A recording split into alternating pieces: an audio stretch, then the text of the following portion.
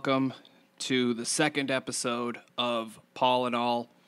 Uh, and as we know, sequels often don't live up to the original. There are some exceptions to that rule, but that tends to be the case.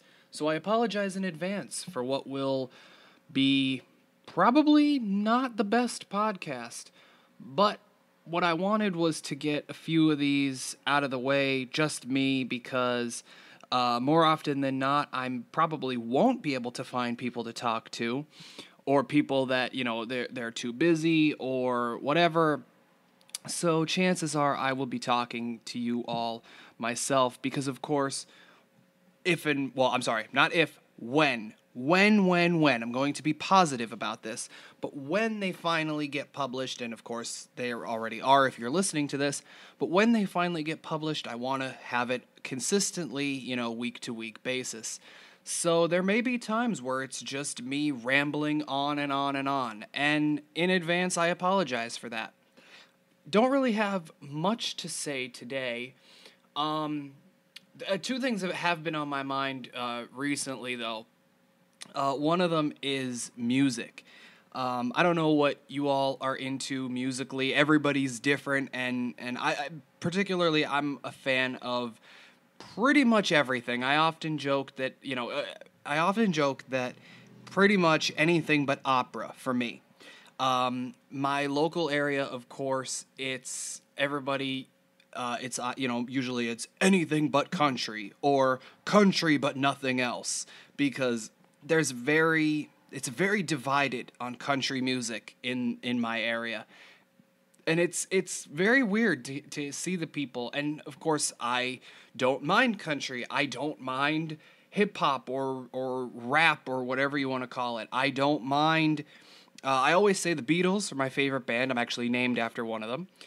Uh, did i forget to introduce myself by the way? Sorry about that I'm your host, J. Paul Casey. Uh, see, I told you, definitely not gonna live up to the first episode. But anyway, um, I can listen to country, I can listen to hip hop or rap or whatever you want to call it. I can listen to um, some, not all, but some um, metal, some hard rock. Uh, I can listen to some techno here and there. It's, it's, very odd.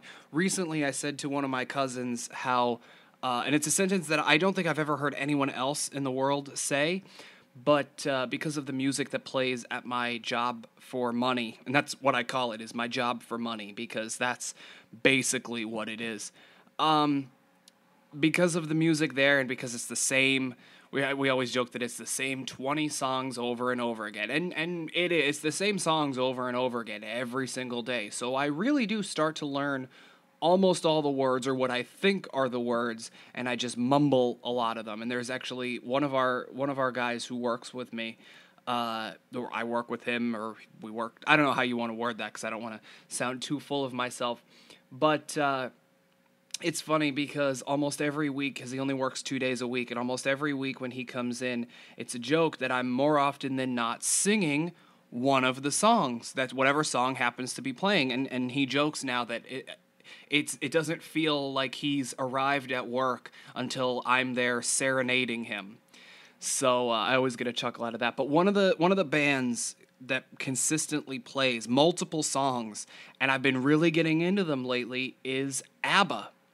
And now I, I know what you're thinking. You may be thinking, as I said earlier, never heard a person say, I'm really getting into ABBA lately. But I, I have been. I, I don't know what it is. Waterloo, Take a Chance on Me, Fernando, all of those, they're, they're, they're, it's, I don't know why. It's just so kind of upbeat and, and, I, I don't know. It's just, it, it gives me like a good, a good feeling as odd as that sounds, you know? And and it's nice to have have a good feeling sometimes. You know, not all you don't always want to listen to depressing music. And there's there's this old uh, thing that I that I used to see where it was like, you know, when you're when you're sad, you listen to the what is it? When you're sad, you listen to the lyrics. When you're happy, you listen to the music. And I've actually found that to be true because a lot of the the uh, music that I like sometimes I will be listening and I'll go, man, the drums sound really good, or oh, listen to that guitar solo, or whatever. But then there are other times where it's like, wow, these lyrics are are very, very, very ringing. They're ringing very true to what I'm going through right now. Or wow, the person obviously was was inspired when they when they wrote this. And music, for as much as I, I talked in the, the previous episode about how wrestling uh, played a, a, large influence on me, or an influence that I didn't even realize until years later. Um, I could also argue that music has played just as big, maybe even a bigger influence uh, in my life overall.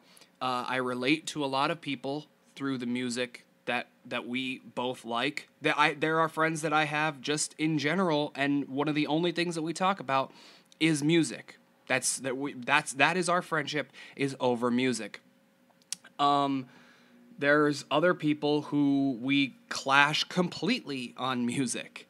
There's other people who it's not the music so much as the history behind the music, the history behind the bands, just kind of the, the evolution of the musical recording process from, you know, what, what the Beatles did, what Pink Floyd did, what Led Zeppelin did, what the Beach Boys did, uh, you know, all the way up until today, what Dr. Dre does, and and you know, uh, acts and and musicians like that, where there's just so much in the evolutionary process of music that it's there's a lot of things there that are just very interesting to me. And one of the things actually there's a, a particular story I'm I've been working on for I would say about a year and a half, maybe two years by this point, maybe even longer if you want to really go back into the history, which one day I will. But uh, I don't want to. I don't want to get too much into the story. But uh, a lot of it's a, a, television series. The concept is a television series. Some of you who are uh, listeners may have already gotten the chance to read some of it because I do send some of my stuff out to my friends, and hopefully my friends are listening.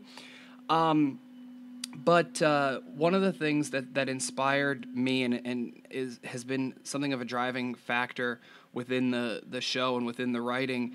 Not only like there's of course there's a, a tv you know a few tv shows and, and things like that that have been very uh, influential. But one of the things was um, the meatloaf jim steinman uh, collaborations the bat out of hell albums. Absolutely hands down uh, th- the three of them the, the the three bat out of hells and, and pretty much anything that the two of them or really anything that jim steinman has, has created has been huge influence on me. I would absolutely rank it within the the the upper echelon of music because what has been done by jim steinman and meatloaf when he's performing those songs it's just it, it takes it takes music to another level in my opinion. You know and it's it's very odd, especially when when there's someone who hasn't listened to them before or who who got me like my, my mother and and a few other family members kind of got me into it.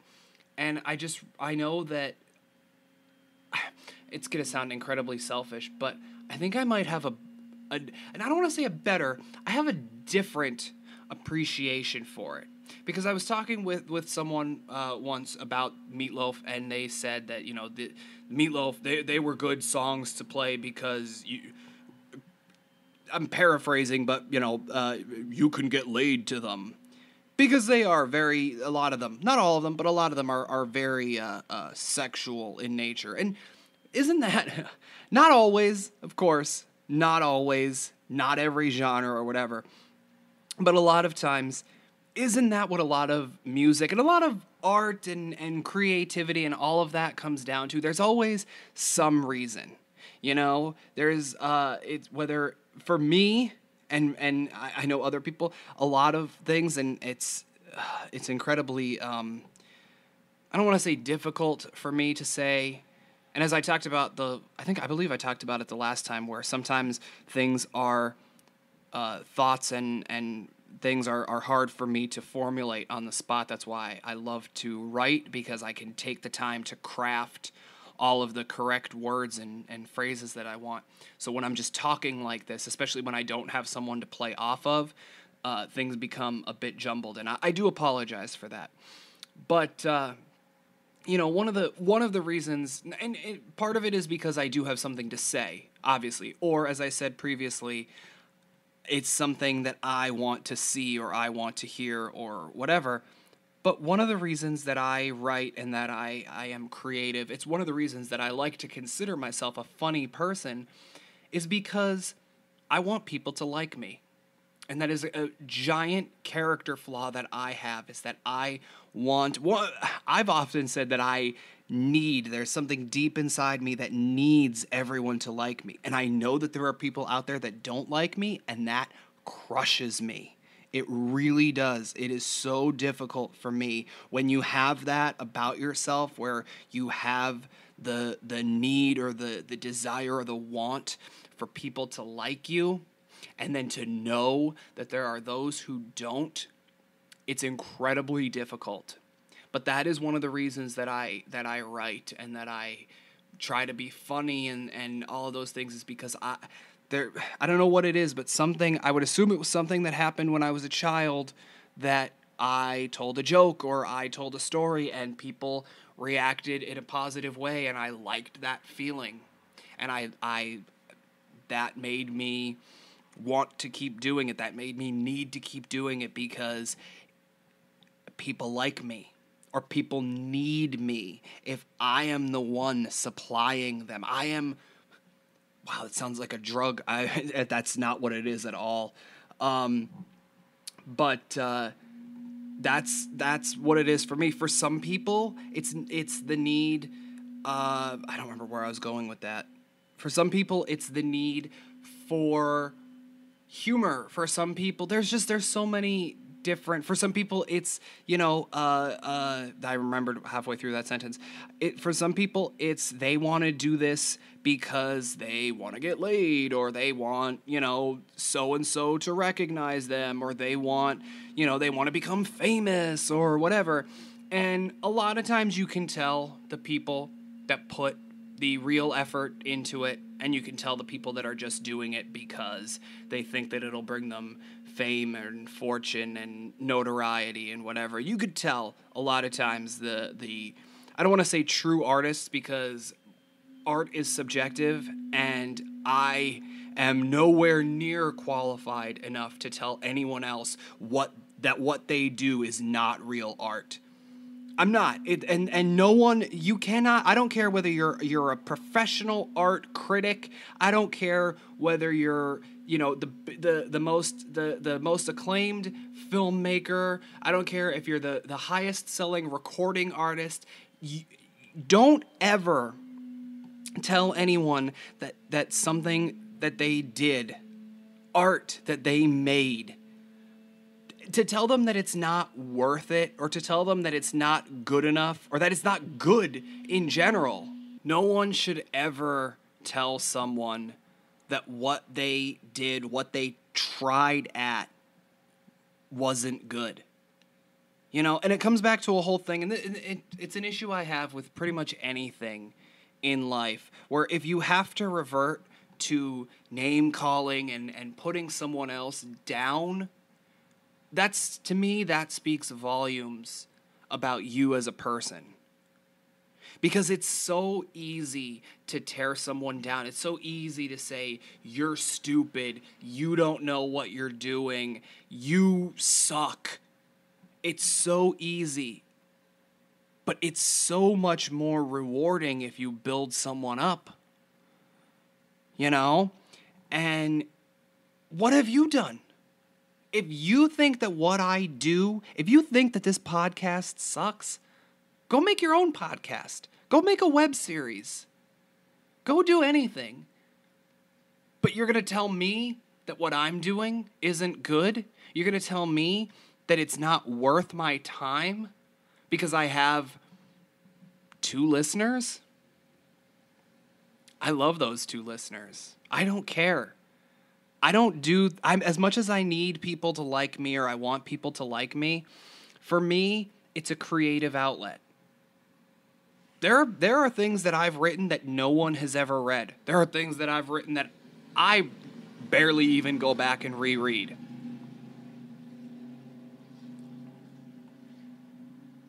There are things that I've written that people have hated I'm sorry if there's any background noise, people. The apartment next to mine, they're vacuuming. The window is open. There's motorcycles out. It's the last good, probably the last good uh, time of the year.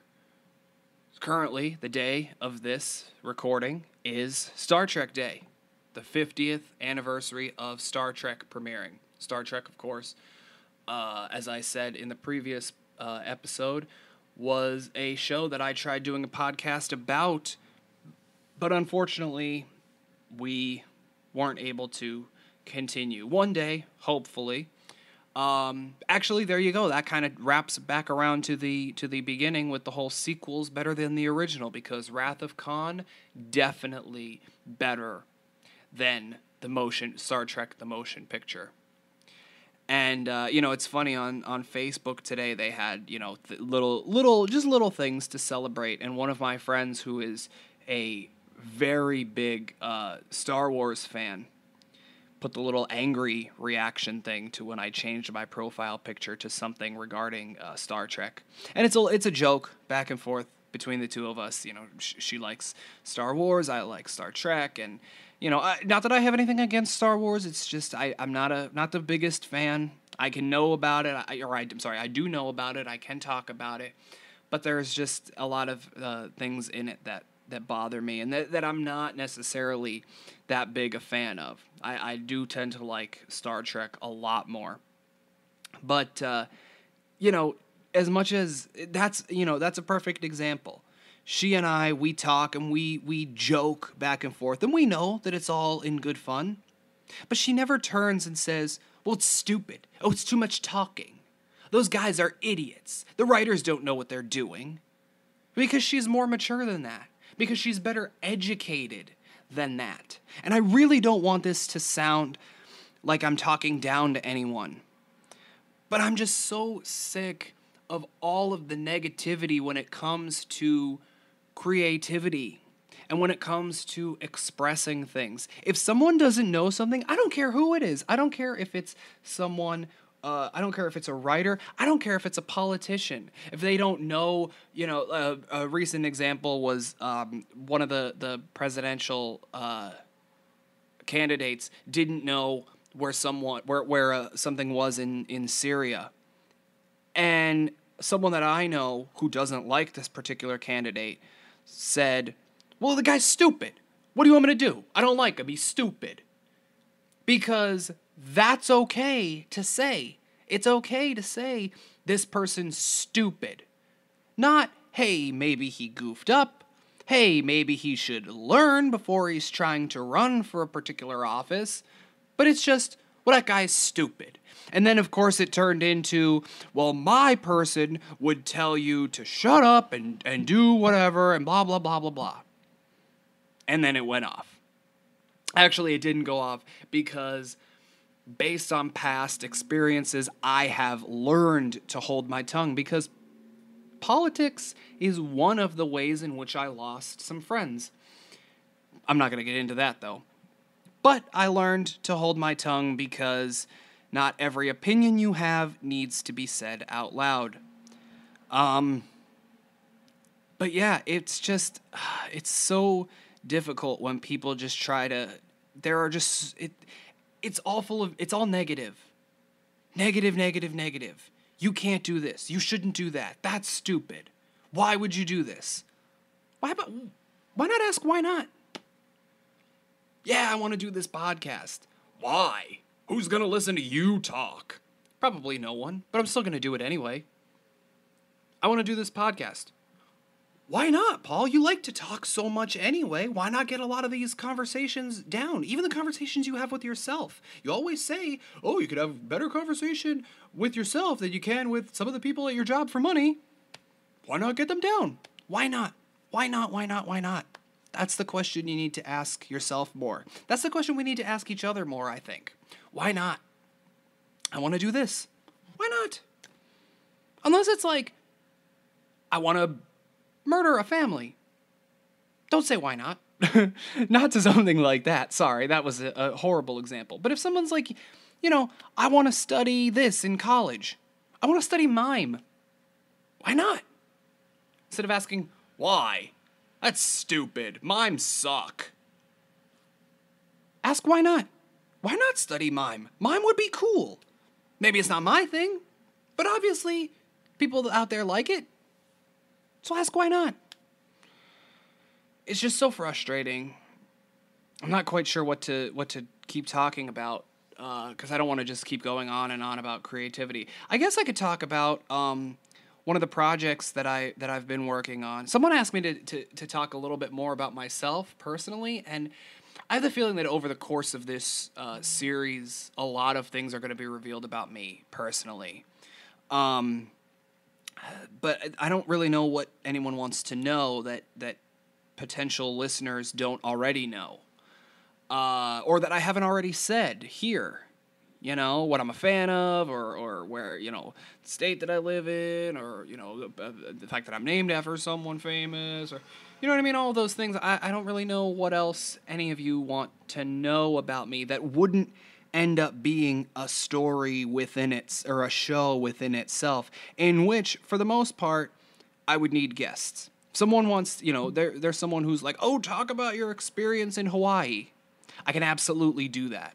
And I can tell stories. However, for me, I would much rather have someone else that was there even if it's not someone even if it's someone that i didn't necessarily uh, interact with there or interact with much while i was there i would just love to have that other person where they could be like you went there? I went there. I had this experience. And i could say i had this experience or whatever. Or the you know someone else who was there with me in particular we were hanging out and we became friends and it was like oh man, do you remember when we did this and whatever? And then it's a an, an organic conversation as opposed to me just saying, I went here, I did this, I went there, I did this, I met this person, I met that person. And you have no idea who these people are. Some of you might, but most of you would not have any idea who these people are. Whereas if the people were actually here talking to you, telling you their side of the of the story of the trip, you might be more inclined to actually care or actually pay attention or find it maybe even slightly more interesting. Um, but I guess one of the things that I could talk about is one of the things that I've been writing recently. Hopefully, by the time that this goes up, I will have either been working on it, uh, you know, expanded upon it a little more, or you know, honestly, the the issue is I'll probably have not forgotten about it, but stepped away from it and said, "I have this other I this other story I want to tell." But uh, one of the things that I've been that I've been trying to work on right now is the I want to do um uh, I guess a mini a movie a mini movie. I'm not sure how you would say it, but I want it to be uh, a story about a group of people who come together after somebody told me that it, it sounds very much and I, I do admit the concept was taken a little bit from uh, the Big Chill. You know, of, uh, someone dies and group of friends reunites. That's really where it it or it deviates from that, as far as I can tell. Um, but the the concept is it's there's people that I that I know who I think would be very good and people who have expressed interest in wanting to be in in some type of project of mine in the past.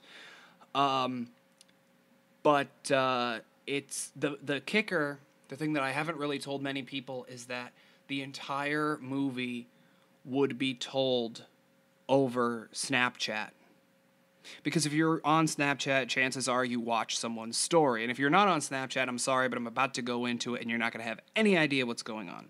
But for the Snapchat, Snapchatters, or I don't know what we, what people who are on Snapchat call themselves, but you have someone on there that you follow and you watch their story. Some people use it as as a like a micro vlogging type thing or whatever. What if you, and you know it's just clip after clip after clip of their day or you know uh, I'm watching this, I'm cooking this, I'm you know whatever. What if you watched it as a movie? What if it was a movie? why not? You know, to bring us back to what I was saying before. And that's that's kind of I bitched it to somebody and and a, fr- a friend of mine at my job for money and he goes, "Oh, dude." He goes, "It makes perfect sense." He's like, "I don't know why you wouldn't do that." He's like, "It it just does. It makes perfect sense." You know? So uh, I've been trying to write that, and I, I wrote, you know, the outline, and then I went back and realized it's it's too short. There's not enough character development or whatever. So I, I went back and I'm I'm now adding other scenes in, and uh, then I'll get to I'll because I, I I don't because I've never written professionally. I don't exactly know the correct process. I know my process, which is write out kind of every beat and then put it all into script form, expand upon a little things, and you know, uh, pretty much that's that's how I do it.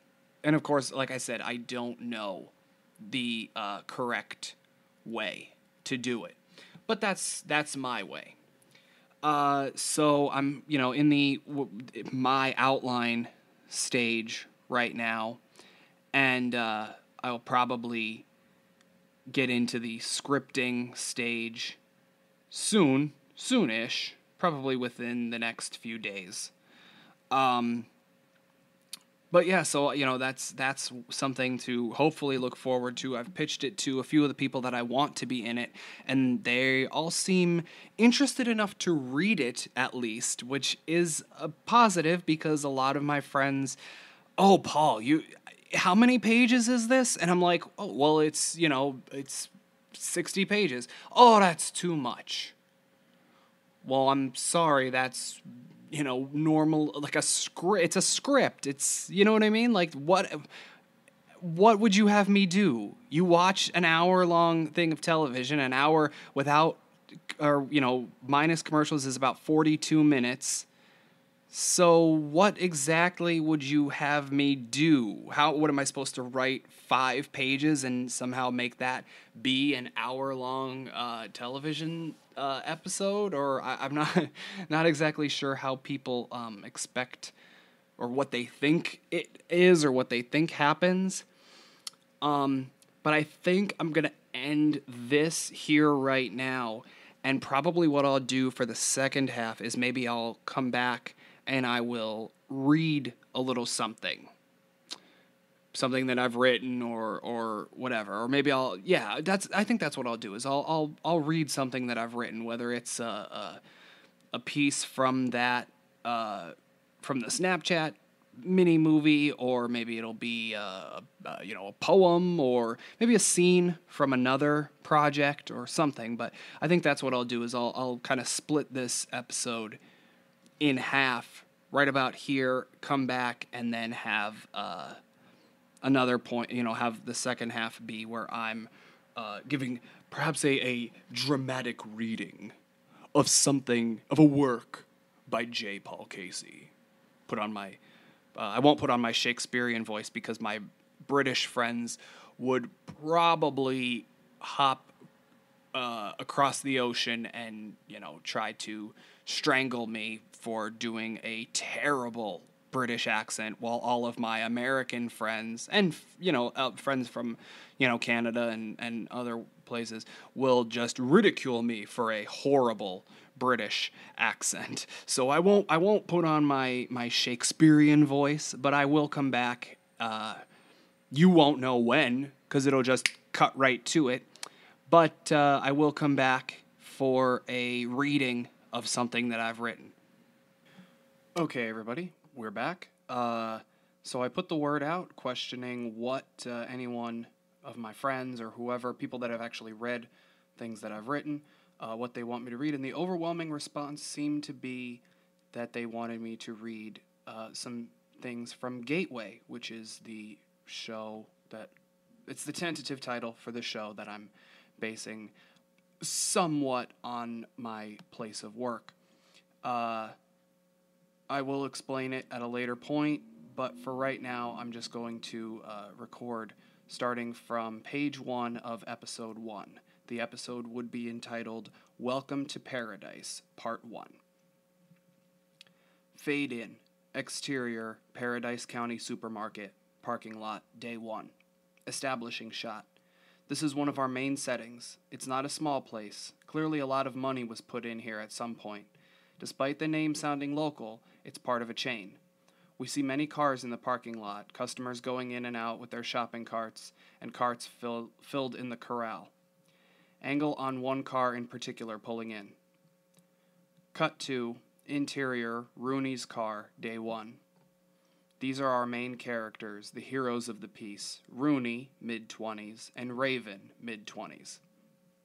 Rooney is in the driver's seat, while Raven is, is the passenger. Rooney puts the car in park and turns the engine off. They take a breath and look at each other. Without saying a word, we know this nervous, uneasy feeling. We've all experienced it. They grab their belongings and exit the car. Cut to interior Paradise County Supermarket lobby, day one. It's not very busy inside, lots of foot traffic. The size looks intimidating, though. Seems much bigger on the inside than it does on the outside. Rooney and Raven look at each other once again, nervous. They take another deep breath and continue in before finding an employee. We can't hear this conversation, but they're clearly asking something of the employee, who points somewhere and gives them directions. They nod in appreciation and continue in the store. Cut to interior Paradise County supermarket checkouts moments later. At the cash registers, we see the lines are full. Not every line is open, but the ones that are are packed. Angle on an office door. There is no nameplate. The door is closed. Several workers and customers pass in front of it, none of them paying attention to it. It opens. Raven and Rooney step out, each with another employee at their side. These are their co workers and guides for the day.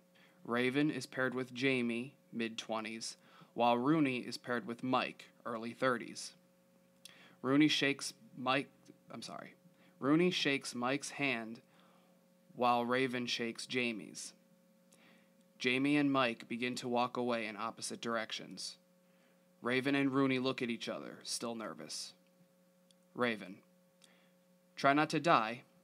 Rooney, sarcastically. Such great parting words, thanks. They exchange sarcastic, goofy looks with each other. They then smile, turn around to their respective guides, and walk away. We zoom out and focus on the clock hanging on the wall. It's exactly one o'clock. Time lapse. Interior, Paradise County, Produce, Night 1. We are now in the produce department of the store. It's located to the left hand side of the front of the store. It's very, very slow. A clock in the background reads 9 o'clock. Rooney is standing, waiting. Raven and Jamie, laughing and talking, walk into the frame. Jamie, mid conversation. And so the doctor says, Well, that's not where carrots are supposed to go, ma'am. Jamie and Raven crack up laughing as they get closer to Rooney. Rooney, not in on the joke, stands there awkwardly as Raven and Jamie's laughter dies down. Rooney, hey. Raven, hey, how was it? Rooney, it was good. Mike showed me a lot. Raven, yeah, Jamie showed me a lot too. Rooney looks at Jamie. Rooney to Jamie. Hey, we were going back to our apartment and have some celebratory drinks. Would you like to join us? Raven and Rooney both look to Jamie. After mulling it over for a moment, Jamie nods. Jamie. Sure, I'd love to come. Rooney and Raven smile. They all begin to head outside. Cut to exterior Paradise County supermarket sidewalk, moment later. As Raven, Rooney, and Jamie exit the building, Raven has an epiphany. Raven to Rooney. Did you invite Mike? Rooney to Raven. He's picking up some extra hours, he said, so he's not leaving just yet. They take a few more steps. Raven looks distressed. Raven. I forgot my keys inside. I'll be right back. Rooney to Jamie. I'm a bit chilly. Mind if we wait inside? Raven turns around and goes back inside. Rooney and Jamie also head in. As they're walking in, Rooney starts talking with Jamie. Rooney continued to Jamie. So, how long have you worked here? As they all walk in, we cut to interior Paradise County supermarket back room moments later. Angle on Raven walking into the back room. Boom! Clang! Raven looks up at the sound of something falling over. Angle on a fight. There's a struggle going on between Mike and a hooded figure. Angle on Raven, shocked and unsure what's going on. Raven looks all around and sees no one else. Angle on the fight. After a few more seconds, we see that it isn't a person Mike is battling with. It appears to be some sort of tall creature in long black robes and a hood. They knock over a few boxes of product as they struggle back and forth. Mike pulls out an odd, ancient looking blade. He stabs the creature in the leg, wounding it. It lets out a howling shriek. Angle on Raven, who is completely confused, shocked, and scared. What the hell is happening? Raven screams louder than the creature did. Raven, scared. Ah! This scream from Raven is incredibly loud. Cut to exterior, Paradise County Supermarket, lobby, same time. Up at the front of the store, Raven and Jamie are still talking. The loud scream from Raven is so audible Rooney and Jamie hear the echo from it all the way up here. They both turn around, confused, and look to see what's going on. They look back at each other but realize they have to go see what happened. Cut to interior Paradise County supermarket back room, same time. Angle on Mike, still pinned down by the creature. The scream happened seconds ago, so Mike quickly looks at Raven. Distracted, Mike doesn't see the final blow coming from the creature. It hits him one more time before its head goes in towards his neck and a gnawing sound is heard. Angle on Raven still freaking out. What the hell is going on here? We zoom out slightly and see Rooney and Jamie enter the shot. Angle on the creature on top of Mike with its head still buried in Mike's neck. Angle back on our heroes. Rooney and Jamie are now seeing this. They're just as confused as Raven. Jamie's feet shuffle. Angle back on the creature, who hears this, pulls its head from Mike's neck, and turns towards our heroes. We don't see its face, it's shrouded by the hood. All we can see is blood dripping from the cowl it wears. Heavy breathing is heard emulating from the creature. It's not a menacing sound, it's a scared sound. The creature is obviously afraid. It then dashes away with a noticeable limp from the stab wound in its leg angle back on our heroes, who are now all looking at each other, freaking out. After a moment, they try to compose themselves. Raven begins to step forward. Rooney to Raven. What are you doing? Raven to Rooney. Going to check on Mike. Raven inches closer. Rooney to Raven. I think he's dead. We saw that thing dripping with his blood. Jamie. Who was that? Raven and Rooney shake their heads and shrug their shoulders because they have no idea. Raven inches closer and closer. Rooney and Jamie are not far behind. After a few seconds, they arrive at the corpse. Mike's lifeless body lays before them. His eyes are closed already. We don't notice it right away, but one of his hands still has the blade in it, while the other appears to be clutching his chest. At first glance, it looks like he could be holding on to his heart. Raven takes the blade out of his hand and begins to look at it. Rooney to Raven. You're messing with the crime scene. Jamie to both. We should call the police. Raven turns back to them. Raven to both. You saw that thing. Does it really look like something the police could handle? Rooney to Raven. What are you saying? Thing? It was a person, probably high on something. PCP or something like that. Raven and Rooney stand there exchanging looks. Jamie, however, leans down and notices something. What before looked like Mike's other arm holding his chest now becomes clear that he was holding something to his chest. Something is sticking out below his hand. Jamie reaches over and loosens his hand to get a better look. Standing up and looking at Raven and Rooney, Jamie holds up a necklace with a large gemstone in the middle and designs around the outside. Raven and Rooney stop looking at each other and notice the large piece of jewelry Jamie is holding in front of them. They all stare at it questioningly, but they only get a few seconds as Ringtone Blast! It's not necessarily a tune with which we're familiar, but it's most definitely upbeat. It's upbeat enough to undercut the seriousness of Mike's death. The noise, our heroes soon discover, is coming from Mike's phone. Irony. They find his phone, Raven in particular is holding it, and see a text message from Mr. Reese. No voice is heard, but the text bubble itself pops up onto the screen next to our heroes holding the phone so that the audience can read it exactly. This will be a common element throughout our show. Texting is a part of everyday life, and it makes sense our characters would text. But instead of having a voiceover or the characters who receive the text read everything out loud, we'll often see the bubble pop up onto the screen so no plot points are missed. The text from Mr. Reese is as follows Amulet recovery complete? Our heroes look at each other, even more confused. What do they do? Raven, who is still holding the phone, begins to type.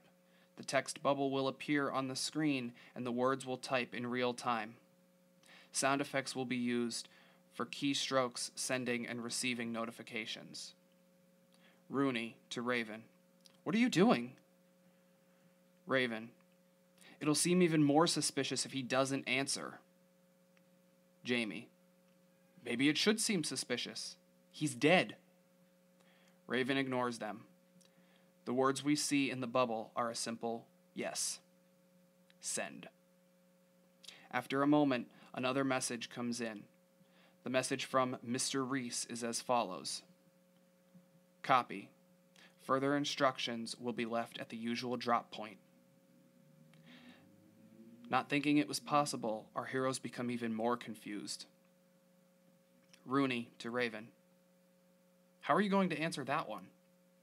Jamie to both. I wouldn't. I think we should take the phone and the amulet and get out of here. Rooney to both. You want to just leave the body? Raven to Rooney. The police will probably have questions for us, questions we can't answer. They'll probably think we did it. Jamie to both. You really think so? Raven and Rooney nod in agreement. The three of them look around once more and walk away, leaving the body. The looks on their faces, however, do indicate that they feel bad for doing so. Cut 2 Exterior Paradise County Supermarket parking lot, moment later. Our heroes are speed walking out of the store, trying not to draw attention to themselves. There aren't many people around anyway. Rooney and Raven make it to their car and drive away with a bit of speed. Jamie follows them out of the parking lot, also speeding. Cut to interior, Paradise County supermarket back room, same time. We see the dead body just lying there. They left it. We zoom out slightly and see the creature return. It notices Mike's hands are empty. It knows our heroes have the gem and the knife. Lifting its head up, though we still don't see its face, a loud screech is heard from the creature, indicating intense anger. Smash cut to black.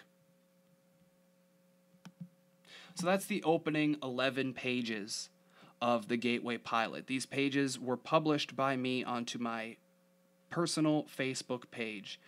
Uh, I had a few people read them. They seemed interested in reading more. So a few people got to read more. A few people had read more before that whereas some people have only read those 11 pages. And I got very positive feedback. So that was always very nice. Positive feedback is always nice. In this version that I've just read, there were a few spelling errors, a few grammatical errors. I've since gone back and fixed them. However, at the moment, I only have the older copy. Uh, I really hope that you all enjoyed that. I'll probably record more at some point. One thing you may have noticed was that, except for Mike, there were no gender pronouns, because in my mind, the characters of Raven and Rooney and Jamie, who will be the main characters of the show, are all genderless, meaning anyone can potentially fill those roles. It, it, it doesn't, the, the gender of it doesn't matter to me as much as the character development and the story. Now, that's just me. Some people read it and they envisioned all women because they believe those names to be all female names. Of course, Jamie was based on the first name James, which is my first name, for those of you who didn't know. Rooney is based off of a customer at my store who, because of, of uh, talking about Andy Rooney one time, calls me Rooney, and be, and also based off of the actress Rooney Mara. So seeing as that seemed like it could be a interchangeable, a unisex name, if you will, that's why that was chosen. And the name of Raven was because I've seen females with that name, and of course, my mind said, well, a male wrestler had that name at one point too. This was, of course, written before I got back into wrestling, but having it been having it have yeah, the fact that it was my part of my background as a child, some a lot of stuff did stay with me. So when I thought Raven could be a man's name as well, I decided to add that in. And the character of Mike was because in pretty much everything I've ever written, there's always always been a character named Mike. I don't know why, it's just a recurring theme in my writings. But I really hope that you all enjoyed that. And I really hope that you'll stick around for more Paul-N-All. Thank you very much. Have a good day. Like this content? How about you make it official? Click the little thumbs up button there below. Once you're done with that, maybe give us a subscribe and share us with your friends. Thanks.